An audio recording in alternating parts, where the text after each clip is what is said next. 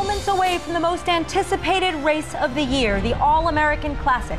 Today's race features one of the fastest foods around, Greasy Cheeseburger, squaring off against a 50 to 1 long shot, Veggie Delight. They're at the gate, and they're off. Greasy Cheeseburger takes a big lead with Veggie Delight trailing. These two burgers could not be more different. Greasy Cheeseburger is loaded with 500 calories and 30 grams of fat. Veggie Delight, made entirely of soy, comes in at a lean 100 calories and 1 gram of fat.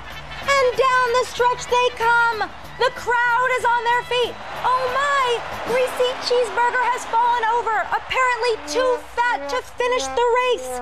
And it's Veggie Delight by six lengths. This just goes to show you that the world of fast food is changing fast. Now you can enjoy it guilt-free with my amazing swaps. Like Lord of the Onion Rings, Crazy Good Island Insanity Burger, and delicious baked apple pilots. I'm also heading to a fast food restaurant for a Hungry Girl survival guide. I'm Lisa Lillian, better known as Hungry Girl, keeping it guilt free and delicious. Guilt-free Fridays and ice cream tips and tricks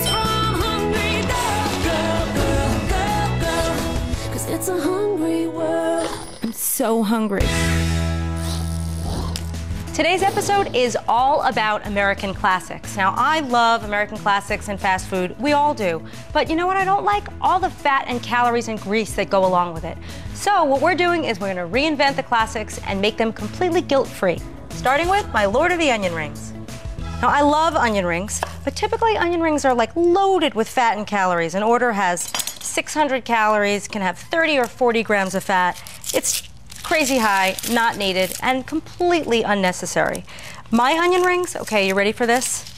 They have 155 calories and about one gram of fat for a tremendous serving. You can eat like a bazillion, literally, onion rings. First thing we're gonna do is get this onion into some rings. Slice that up. Okay. Thing about my onion rings, they're baked. They are not fried. Part of the problem with onion rings, deep frying them. Why do you need to take an onion, which is like completely healthy and delicious, and then deep fry it? It just it seems unnecessary. It should be illegal, I think, kind of. These rings are so perfect. I'm so proud of myself. I'm gonna pop these out. I'm gonna get my secret ingredient.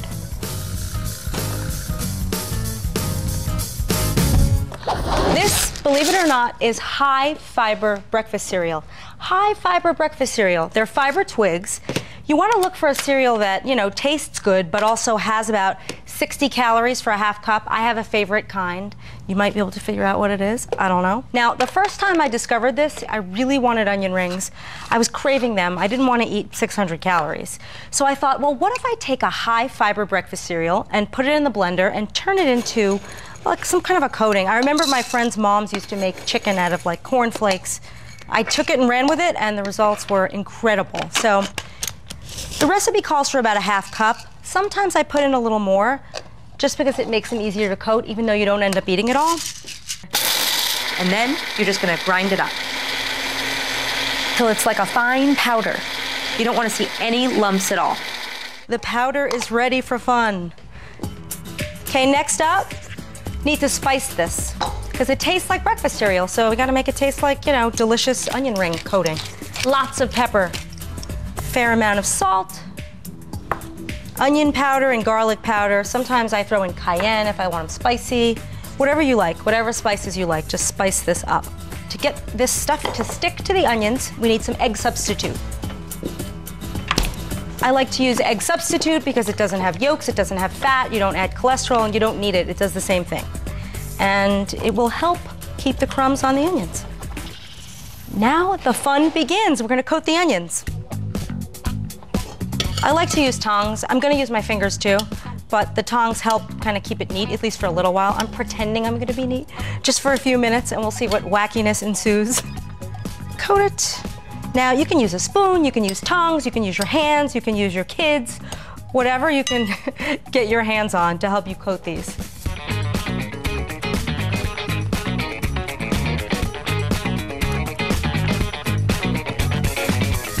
This pan has been sprayed with nonstick spray. I'm gonna get these guys in the oven. The oven's at 375. It's been preheated. They stay in for about 20 to 25 minutes, and I'll flip them halfway. Okay, my Lord of the Onion rings are ready. They smell great. Wow. Can't believe it. This whole tray has about 150 calories. It's crazy. I'm to dig right in. Now, I sometimes like them with mustard or ketchup. Today, I'm to use one of my favorite condiments. It's my secret find today. It's called Vivi's Original Sauce Classic Carnival Mustard. It's a little hard to find. You get it online, but it's so worth it. It's a little bit like a relish, a salsa, and a ketchup and a mustard all rolled into one. And it's so good. It has a little heat, it's a little spicy, and it works so well with these onion rings. I'm not even gonna put these on a plate. I am just gonna dive right in. Mmm. It is so crispy and crunchy. It tastes a lot like a diner onion ring without grease, without fat. It's amazing. Mm. I will never eat fast food onion rings again. Up next, I cruise to a fast food restaurant to give you something better than anything you can find in a Happy Meal a Hungry Girl Survival Guide.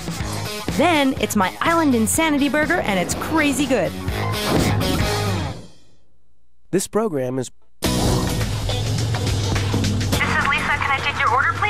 Uh, yeah, I'll take a Bacon double cheeseburger, large fries, and a medium orange soda. Okay, that will be 1,300 calories. Please pull up to the window. Fast food is part of life in America. We all love to eat it. But does it always have to be greasy and packed with calories? No way. I am here with a Hungry Girl Survival Guide so you can enjoy it guilt free.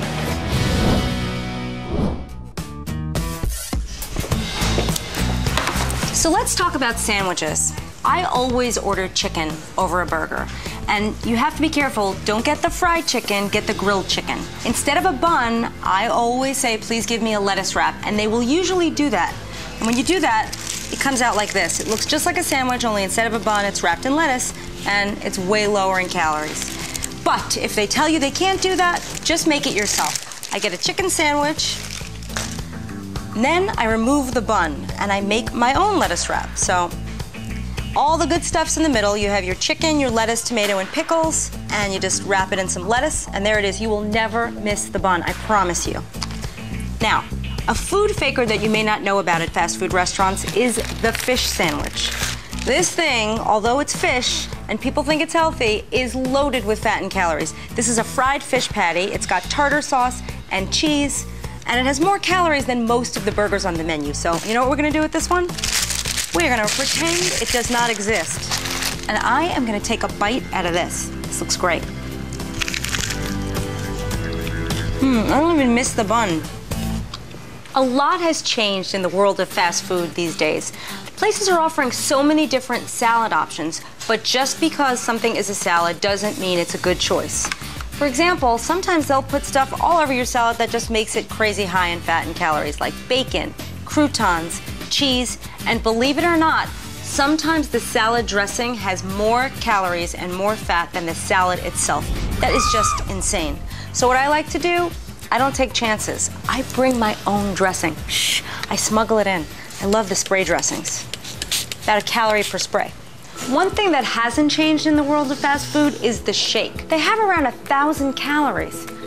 This thing is a ticking time bomb. And that was my Hungry Girl Fast Food Survival Guide. See you at the drive thru Next, I am going to be making my Island Insanity Burger. Now, I was inspired to make this thing because I had lunch with a friend at a chain restaurant. She was eating this crazy burger that looked so good.